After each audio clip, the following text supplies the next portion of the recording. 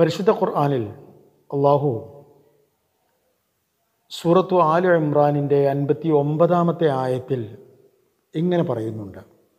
ഇന്ന മസല ഈസ ഇന്ദാഹി കമസലി ആദം. ആദം നബി അലൈഹി ഇസ്ലാമിന്റെ ഉദാഹരണവും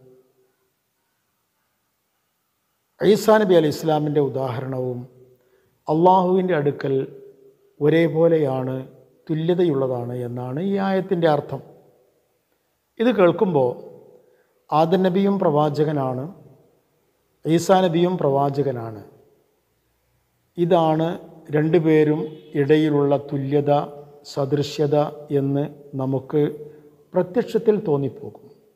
പക്ഷേ സത്യത്തിൽ അതിനേക്കാൾ വലിയ ഒരുപാട് തരം തുല്യതകൾ അള്ളാഹു ഈ രണ്ട് പ്രവാചകന്മാർക്കിടയിലും വെച്ചിട്ടുണ്ട് എന്നാണ് ഖുർആൻ പണ്ഡിതന്മാർ പറയുന്നത്.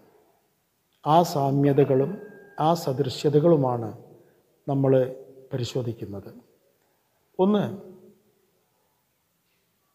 ആദം നബിയെക്കുറിച്ച് പരിശുദ്ധ ഖുർആാനിൽ പേരെടുത്ത് പറഞ്ഞിരിക്കുന്നത് ഇരുപത്തി അഞ്ച് പ്രാവശ്യമാണ്.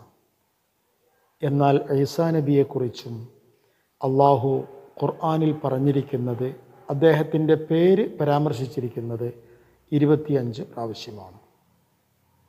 രണ്ടാമത്തെ കാര്യം സൂറത്ത് തഹ്രീമിൽ അള്ളാഹു പറയുന്നു ഐസാ നബി അലൈഹി ഇസ്ലാമിനെ അള്ളാഹുവിന്റെ റൂഹിൽ നിന്നാണ് സൃഷ്ടിച്ചത് എന്ന്. സൂറത്തു സ്വാദിൽ എഴുപത്തി രണ്ടാമത്തെ ആയത്തിൽ ആദൻ നബി അലൈഹിസ്സലാത്തു വസ്സലാമിനെ അള്ളാഹു സൃഷ്ടിച്ചത് അല്ലെങ്കിൽ ആദൻ നബിയിൽ അള്ളാഹു നിക്ഷേപിച്ചത് അള്ളാഹുവിന്റെ സ്വന്തം റൂഹിനെയാണ് എന്ന് പറയുന്നുണ്ട്. ഇത് മറ്റൊരു സദൃശ്യതയാണ് മറ്റൊരു സാമ്യതയാണ് ഈ രണ്ട് പ്രവാചകന്മാരും തമ്മിലുള്ള. മൂന്നാമത്തെ കാര്യം ആദൻ നബി അലൈഹിസ്ലാം ആകാശ ലോകത്തിൽ നിന്ന് ഇറങ്ങി വന്നതായിരുന്നു എന്ന് സൂറത്തുൽ ബക്രയുടെ മുപ്പത്തി ആറാമത്തെ ആയത്തിൽ പറയുന്നുണ്ട്. എന്നാൽ മഹാനായ നബി സല്ലാഹു അലഹി വസല്ലമ തങ്ങളുടെ സഹയായ ഹദീത്തുകളിലൂടെ നമ്മൾ പറഞ്ഞ നമ്മൾ പഠിക്കുന്ന നമ്മൾ മനസ്സിലാക്കിയിട്ടുള്ള കാര്യമാണ് ഐസാ നബി ഖിയാമത്തി നാളിന്റെ അടുത്തായി ആകാശത്തിൽ നിന്ന് ഇറങ്ങി വരുമെന്ന്. ഇത് മറ്റൊരു സദൃശ്യതയാണ്. മറ്റൊന്ന് പണ്ഡിതന്മാർ പറയുന്നത് ആദൻ നബിയെ അള്ളാഹു സൃഷ്ടിച്ചത് തികച്ചും അമാനുഷികമായിട്ടായിരുന്നു. ഉപ്പയും ഉമ്മയുമില്ലാതെ. എന്നാൽ ഏതാണ്ട് അത്തരത്തിലുള്ള ഒരമാനുഷികത ഈസാ നബിയുടെ സൃഷ്ടിപ്പിലും ഉണ്ടായിരുന്നു. ഈസാ നബിയെ അള്ളാഹു സൃഷ്ടിച്ചത് പിതാവില്ലാതെയായിരുന്നു. ഇങ്ങനെ നാല് സദൃശ്യതകൾ അല്ലെങ്കിൽ നാല് സാമ്യതകൾ നമുക്ക് പ്രധാനമായി കാണാൻ കഴിയും. മറ്റു പലതും പല പണ്ഡിതന്മാരും പറഞ്ഞിട്ടുണ്ട്. എല്ലാ പണ്ഡിതന്മാരും ആവർത്തിച്ച് പറയുന്ന കാര്യങ്ങൾ നമ്മളിവിടെ ഓർമ്മപ്പെടുത്തുന്നു എന്ന് മാത്രം.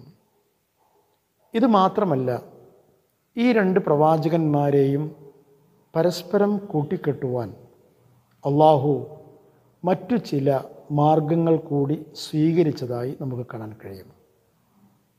അതിലേറ്റവും പ്രധാനപ്പെട്ട ഒന്ന്. ഈ പ്രവാചകന്മാരിൽ രണ്ടു പേരെയും പരാമർശിച്ചിരിക്കുന്ന ആയത്തുകൾ നേരത്തെ പറഞ്ഞ പട്ടികയിൽ അതായത് ആദൻ നബി അലൈഹി ഇസ്ലാം ആദ്യം വന്ന പ്രവാചകനാണ്.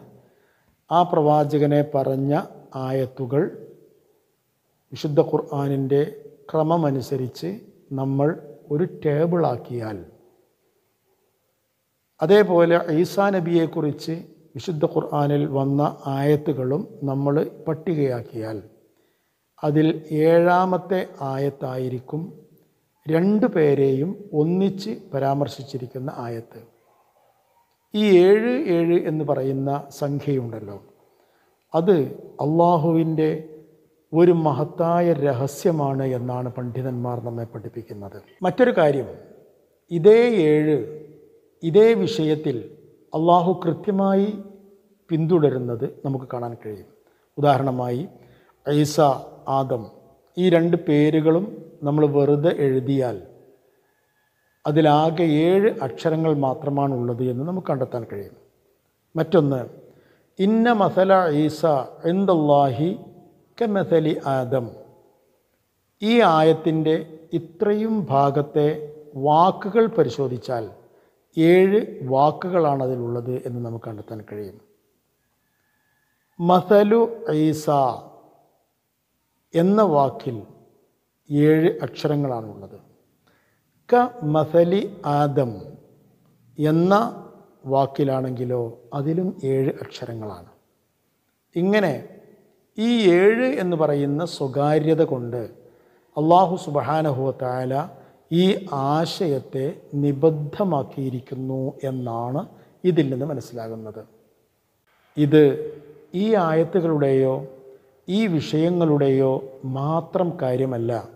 മറിച്ച് പരിശുദ്ധ ഖുർആൻ പറയുന്ന അക്ഷരങ്ങളുടെയും ആശയങ്ങളുടെയും ആയത്തുകളുടെയും സൂക്തങ്ങളുടെയും എല്ലാം കൂടെ ഇவ்விധത്തിലുള്ള അമാനുഷികത പിന്തുടരുന്നതായി നമുക്ക് കാണാൻ കഴിയും.